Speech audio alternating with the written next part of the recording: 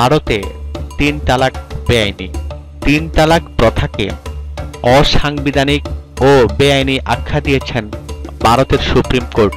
পাঁচ বিচারপতির বেঞ্চ এ রায় দিয়েছে, দিয়ে বলেছেন এই প্রথা বিলুপ করতে ভারতের সংসদকে আগামী ছয় মাসের মধ্যে আইন পাশ করতে হবে।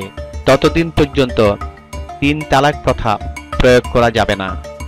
সুপ্রিম কোর্ট এই কথাও জানিয়েছেন ছয় মাসের মধ্যে আইন প্রণয়ন না হলে তিন তালাকের উপর ইনজেকশন বলবৎ থাকবে।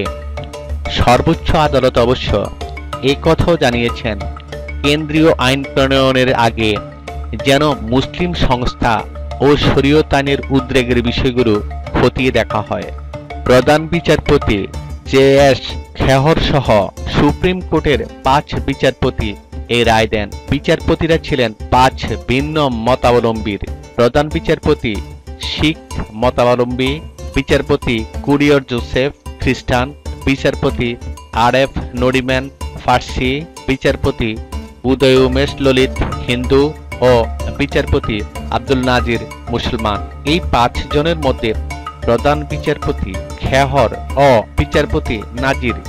তিন তালাক প্রথাকে অসাংবিধানিক বলে মনে করেননি। তবে বাকি তিন বিচারপতি তা মনে করেছেন। ফলে সুপ্রিম কোর্টের এই রায় তিন দুই সংখ্যাগরিষ্ঠের বলে গণ্য হচ্ছে।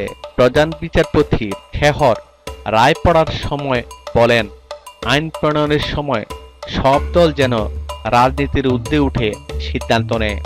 মামলার শুনানির সময় কেন্দ্রীয় সরকারের পক্ষে বলা হয়েছিল, সর্বোচ্চ আদালত তিন তালাক প্রথাকে অসাংবিধানিক বলে আখ্যা দিলে কেন্দ্র মুসলমান সম্প্রদায়ের বিয়ে ও বিবাহ বিচ্ছেদ নিয়ে নতুন আইন প্রণয়ন করবে। তিন তালাকের বিরোধিতা করে একাধিক ভারতীয় মুসলিম নারী আদালতের দ্বারস্থ হয়েছিলেন। All India Muslim Personal Law Board Supreme কোর্টে তিন তালাক প্রথার সমর্থন করে। তবে তাদের সুপারিশ ছিল যারা টেলিফোনে তিন তালাক উচ্চারণ করে বিচ্ছেদ ঘটাচ্ছেন বা মুঠোফোনে তিন তালাক লিখে পাঠাচ্ছেন অথবা চিঠি মারফত তাদের বিরুদ্ধে অপপ্রচার চালানো দরকার। তাদের সামাজিকভাবে বয়কটও করা যেতে পারে, কিন্তু তিন তালাক প্রথা তুলে দেওয়া ধর্মবিরোধী হবে। এ মামলার অন্যতম আবেদনকারী পারাহ ফৈজ রায় শুনে বলেছেন, এ প্রথা বন্ধ করতে এদিনে একটা জরুরি পদক্ষেপ নেওয়া হলেও নারী অধিকার আন্দোলনের নেত্রী নাজমা পারভিন বলেন, এই রায় বৈপ্লবিক ও ঐতিহাসিক।